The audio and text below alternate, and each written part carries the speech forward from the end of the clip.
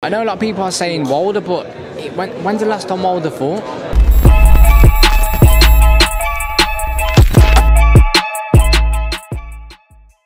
Boxing fans here in Birmingham with the main event, Galal Yafai. Galal, uh, good to be home.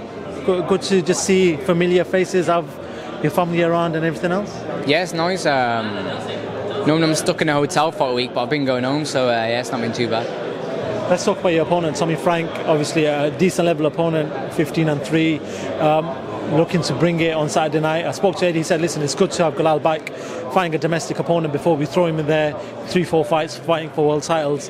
Is that the path? Is that is that what you're looking at right now? Yeah, I think so. Um, I've got to keep improving. Um, do you think it's going to be a good fight? Yeah. You think it's going to be a good fight? So that you think it's going to be a good, what's a good fight to you when it's nip and tuck and it's blow for blow? Not necessarily, but a good fight. Good, good, good. That's for that's for you to that, that's for you to answer it. is it going to be good for the, a good fight for the fans? Possibly, possibly, but it's, it's, it's something that I'd, I'd want from yourself. Obviously, are you looking to just take him out, get the job done, and just move on? Is that is that the mentality that you're going in with? Uh, yeah, definitely. But you know, I take him serious. Um, but I know a lot of people said it's going to be a good fight, so I'm thinking if they think it's going to be a good fight, then I think there's going to be a close fight because uh, cl- close fights are normally good fights, and uh, one-sided fights are boring fights, they? Really. Um, but now I'm looking forward to it. I'm taking him serious. He's a good fighter. Um, so yeah, we'll see Saturday. Um, after this, uh, it seems like Eddie's saying you know they could be pushed into big opportunities. The division's brewing up, a lot of fighters you know moving up and down, and you've got some good champions. There, Eddie's the right person to be promoting you in that in the lower weight categories. A good time right now for yourself. Yeah, definitely. Um, flyweight division and I like flyweight and the super flyweight division is good with with Matchroom. One of the reasons why I signed with them. Um, but you know what? I don't focus too much on other people. Do you know what I mean? Like it's not like I'm struggled as an amateur and uh, you know I'm trying to get a name and you know I, I'm Olympic gold medalist, so I ain't really got to try and bring other people's names up. Um, for win a world title, hopefully, which I do in the next year.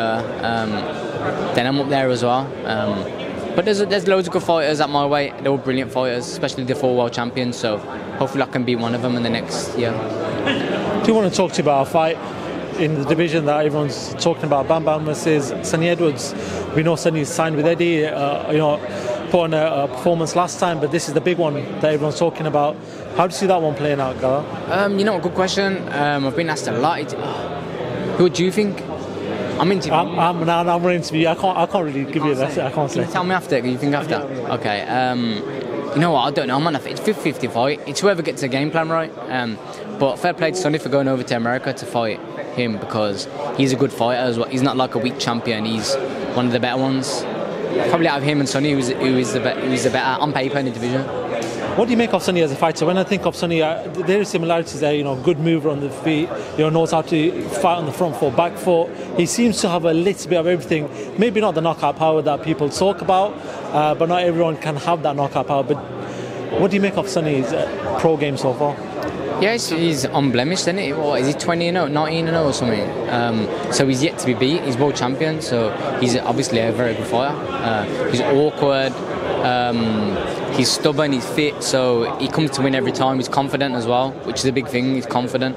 Um, he's mentally strong as well, so it's good. That's what you, that's what you need to be to be a world champion.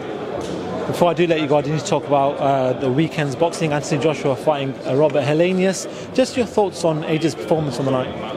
Yeah, it was a good performance. Um, you know, we expected to knock him out, and he did. Um, great knockouts. I know a lot of people talking about should have probably knocked him out earlier, but sometimes Josh he'll maybe start a bit slower. Um, but now Josh, I'm, I'm a big fan of Josh, man. He's, he, I spend a bit of time with him over my time with GB, and I'm a big fan of him, and I look up to him. Um, and obviously, I emulated what he did, being Olympic gold medalist. So um, it's one thing we share in common. Wilder is the name for January in Saudi Arabia. What happens in that fight? Uh, two big punches. You know what? I know a lot of people are saying Wilder, but when, when's the last time Wilder fought? Uh, I don't know. I don't know the last. For time. Last, actually. When, when was that? It was earlier this year, if I'm right. Earlier this, earlier this year, and he knocked him out in the first round. Yeah. Okay, I thought it was longer than that. Um, yeah, it's a tough fight. You know, Wilder can punch. Um, he's, he's dangerous, but so is Josh. So we'll see how that fight plays out. I do want to ask you though, uh, a lot of talk about Wilder, AJ three years ago, where AJ was a lot more raw. You went to the Ruiz fight. We know what happened in the first Ruiz fight. Do you feel like AJ's in a better position now, where he sort of seems to be improving his boxing skills and not just being a, a puncher, than he was three years ago? So him fighting Wilder now, do you feel like it's a better, it's a better AJ fighting Wilder right now? You know what? It's a, it's an awkward question because three years ago he used to train with my with my trainer Rob. So. Uh, I think he's probably better when he trained with Rob, but um, I don't know. Uh, my opinion don't mean nothing. It's what other people think as well. You know what I mean? Um, do other people think he was better three, four years ago? I do, um, or from what I've seen. But then he could fight brilliantly in his next fight, on his next two, three fights. So it's just boxing. You just you have one or two bad fights, and everyone thinks that you're done. So I'm sure we'll see how he is in his next fight. Actually, Wilder Helenius was at the end of last year, so yeah, so it is going to be a little while before he fights again. Do you think Wilder needs another fight before he fights AJ, or do you think he can go straight in there?